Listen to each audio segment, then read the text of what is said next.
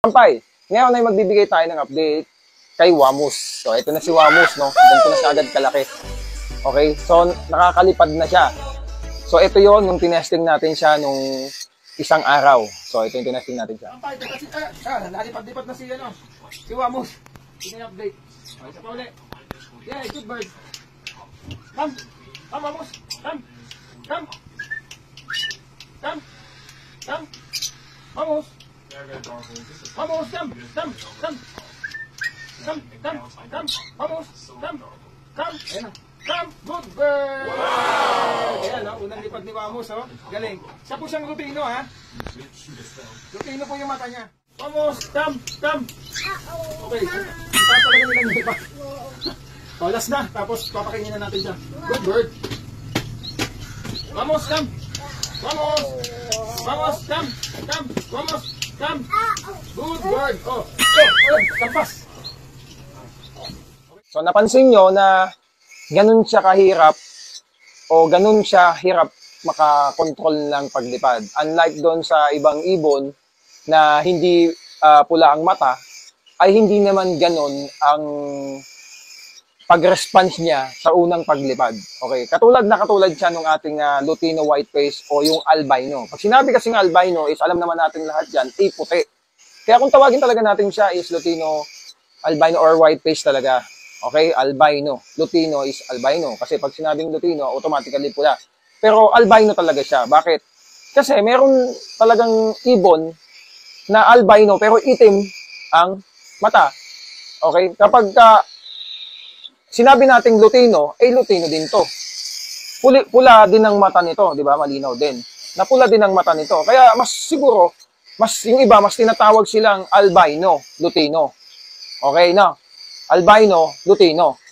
No? Ito kasi is Lutino. Okay. Lutino siya, pero ganito yung katawan niya, no? Tapos meron siyang chick na red chick. Tapos madilaw-dilaw siya. So yun yun. Itong si Wamos ay yung crunch niya, yung crested niya is kulay dilaw. Pero ito pa yung napansin namin, mabagal humaba yung kanilang crest.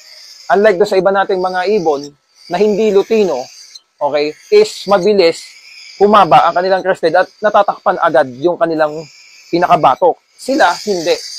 Nananatili silang panot. So kung sa joke, kaya siguro mahina silang makapick up ng ating itinuturo. So ito, tetestingin natin uli siya dahil nagtipla na tayo ng ating pakain. At ito nga ang ginagamit nating hand feed. Ito yung official nating hand feed. Siyempre pag pre-flight lang din ang pag-uusapan, magic formula tayo. Subok natin talaga to. Okay, so, testingin natin, bubuksan natin ang kulungan niya. Tawagin natin siya. Okay. Ito yung kanyang pangatlo. Hindi, kung tutusin, pangatlo na, na paglipad niya kasi yung video yung unang napanood nyo, no isang araw ko yun ginawa. Ito naman yung pangatlo. Ayan, tingnan natin siya ha. So, lagyan na natin para hindi siya mahirapan. Come.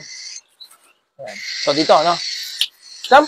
Come, Amos. Tingnan natin kung paano. Dapat, kasi yung ibang ibon, mabilis eh. Nakokontrol agad nila yung paglipad nila. Pero ito hindi eh. Tingnan mo. Tingnan natin kung anong gagawin niya. Vamos, Amos. Come. Lie. Oh, yun, oh. Kita nyo. Ayo. Okay. Napansin nyo? Tingnan nyo yung ulo niya. Halos wala siyang crest. Oh, pangalawa. Attempt. Vamos. Vamos, come. Vamos. Vamos. Vamos, come. Oh. So, kailangan natin ihabol. Unlike dun sa ibang ibon natin. Yung mga fur. Yung gray. Di ba? Automatically, na kontrol nila yung itim ang mata. Ibig sabihin, ah, hindi siya matatawag nating mutated, no? O mutation ng ibon. Okay? Pansin nyo, hindi dahil, dahil silaw. Talagang ganun. Ah, ito po, ah, dis- disclaimer po, ito po ay pinapatunayan po natin. Okay ha? Kaya po talagang, ito po yung mga madaming umiiwas sa ganitong ibon kasi napakahirap i-pre-flight o sabihin natin turuan siya mag-pre-flight. O sabihin natin turuan siyang lumipad. Okay? Kahit hindi nyo i-pre-flight, basta i-recall nyo, napakahirap po talaga. Okay? Naalala ko si, si ano no, si Nobita, yung ating albino. Lutino, ay, o Lutino whiteface, eh napakahirap din. Dalawang buwan, halos, ang laki na niya, bumabangga pa rin siya sa pader. Oh, come. Oh. So, nilagay ha, kung tingnan natin kung ano pa rin lilipad niya ha. Mas mataas na po tayo, kakampay. Oh, come. Vamos, come. Come. Vamos, come. Come.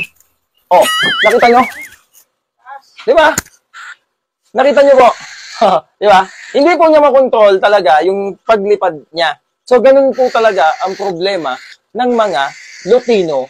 Ah, hindi lang dahil sa pula ang mata niya. Ibig sabihin, yung kanyang intelligence ay hindi ganun talaga kagaya nung iba na kaya nilang kontrolin o kaya nilang ah, ah, gawin yung gusto nilang gawin na dapat dumadapo sila sa ating mga kamay.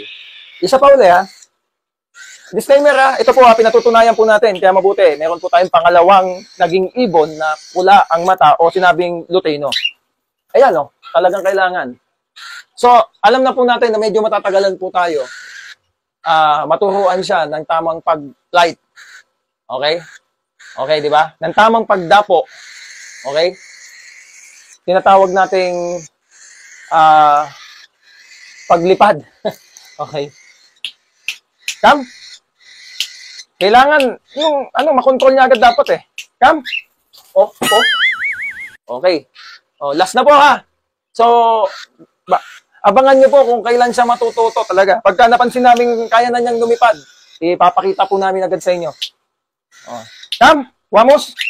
Oh, oh. Oh.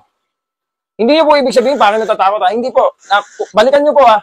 Sa aming pong channel, dito sa aming channel, panoodin niyo po yung mga naging ibon po namin mula nung sila ay sinimulan namin paliparin. Nung nakita na namin silang pumakampay, mapapansin nyo, kontrolado po agad nila yung kanilang paglipad. Okay? Hindi, kasi wala naman tayo speed eh.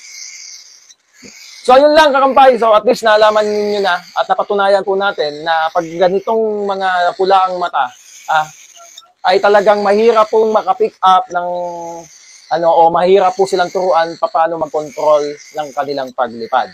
Okay, so yun lang. Ito po ang Team Kakampay at kami po ang Team Maldito Creepland!